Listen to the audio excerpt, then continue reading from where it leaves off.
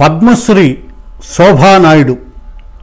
కూచిపూడి నృత్యాన్ని ప్రపంచం నలుమూలలా విస్తరింపచేసిన నృత్య చూడామణి నాట్య మయూరి కూచిపూడి నృత్యానికి జీవితం అంకితం చేసిన అపూర్వ నర్తకి శోభానాయుడు. శోభానాయుడుకు సిరిసిరిమువ్వ శంకరాభరణం హంసగీత చిత్రాల్లో హీరోయిన్గా నటించడానికి అవకాశాలు వచ్చాయి. కానీ ఆమె సున్నితంగా వాటిని తిరస్కరించారు. నృత్య ప్రధానమైన ఆ చిత్రాల్లో నటించడానికి ఆమెకు బ్లాంక్ చెక్ ఇస్తామని కూడా నిర్మాతలు ఆశ పెట్టారు.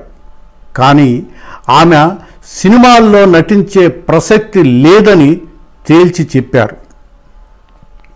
అయితే శోభానాయుడు సినిమాల్లో నటించలేదని ఆమె జీవితం పూర్తిగా కూచిపూడి నృత్యానికే అంకితం చేశారని అందరూ భావిస్తున్నారు. పంతొమ్మిది వందల డెబ్భై మూడులో తన పదిహేడవ సంవత్సరంలో శోభానాయుడు ఒక చిత్రంలో పాటలో నటించారు. ఆ చిత్రం పేరు అభిమానవంతులు. కృష్ణరాజు శారద హీరో హీరోయిన్లు. ఎం. రామకృష్ణారెడ్డి బి. నరసింహారావు నిర్మాతలు కాగా కెఎస్ రామరెడ్డి దర్శకుడు.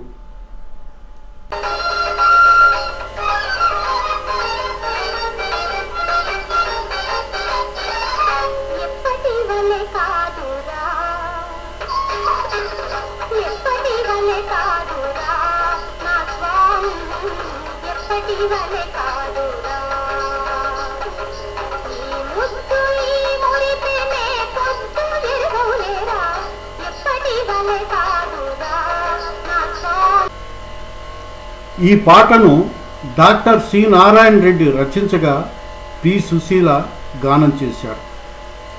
ఈ పాటకు శోభానాయుడు గురువు వెంపటి చిన్నసత్యం నృత్యాన్ని సమకూర్చారు. అయితే ఈ సినిమా తర్వాత ఆమె ఇక చిత్రాల్లో నటించకూడదని నిర్ణయం తీసుకుని ఉండొచ్చు.